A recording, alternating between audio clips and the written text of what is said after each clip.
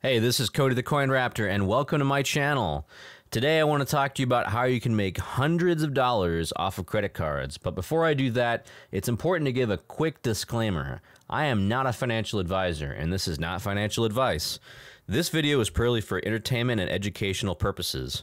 The methods that I'm going to point out to you are effective in scoring you some extra cash. However, you must first understand that credit cards can be dangerous. When it comes to paying with credit cards, you should always make sure to pay off the debt every month before the incurring interest charges. These charges will negate any earnings made off the money off of these cards.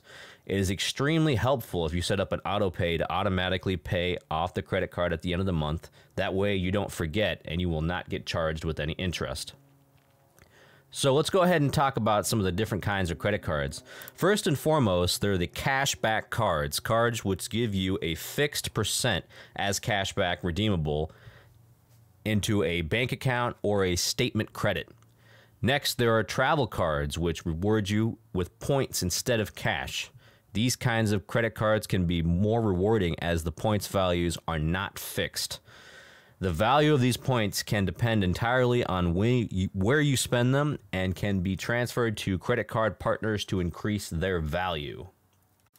As an example, I used Chase Ultimate Rewards points to transfer to Hyatt Hotels to book a hotel in Vegas during the NFL draft for 8,000 points per night. This breaks out to $80 a night and also does not include any resort fees or taxes because you're paying with points.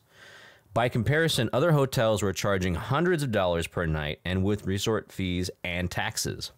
This wouldn't work with every single credit card company's reward system because everyone has a separate list of affiliated partners that you can transfer to. And you can find that information on websites like The Points Guy, thepointsguy.com. I use thepointsguy.com a lot when I'm searching for the best deals possible with the rewards points that I have.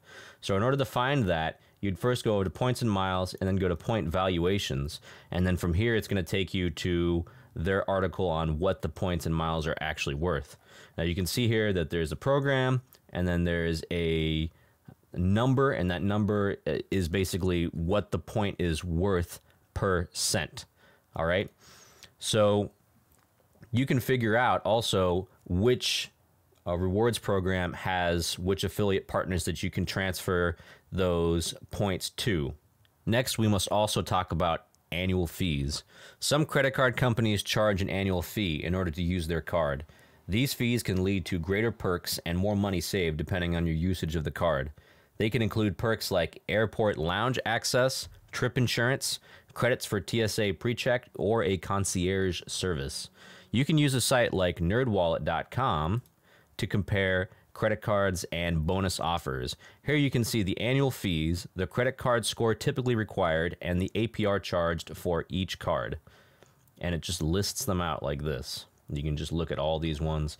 And they also have some good information here on some recommendations for the card depending on what you use it for.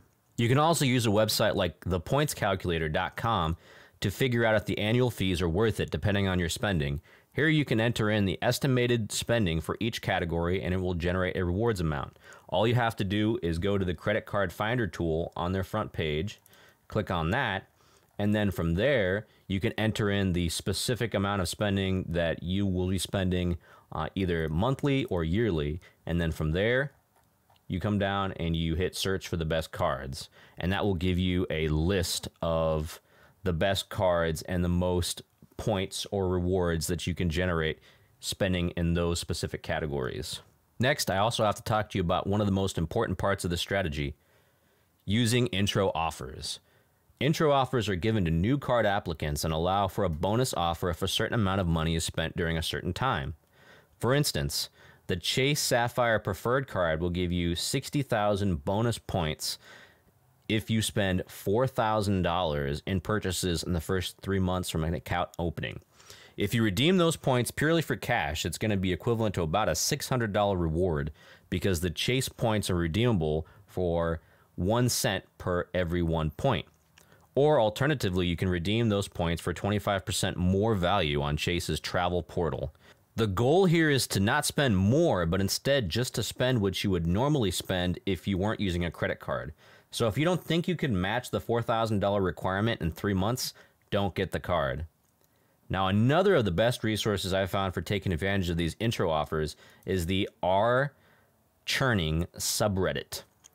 Here they have a flowchart that gives you recommendations based on uh, based on offers and what you qualify for. So all you have to do is come on here to R churning and then click on the credit card recommendation flowchart. And I click on the HTML version, and this is what pops up here. You have the entirety of this flowchart. And so you start from the top here, and then you work your way down depending on what you're looking for, travel or cashback, and whether or not you're under this 524 rule, which essentially is a restriction that prevents you from opening so many chase cards and being able to go and redeem all of the intro offers. So if you play your cards right and are responsible with their usage, you can get fantastic rewards and save a ton of money using these credit cards. All of these website addresses will be in the video description. Thank you for your time. If you like this content, please check out some of my other videos that have to do with finances and crypto. This is Cody the Coin Raptor signing out.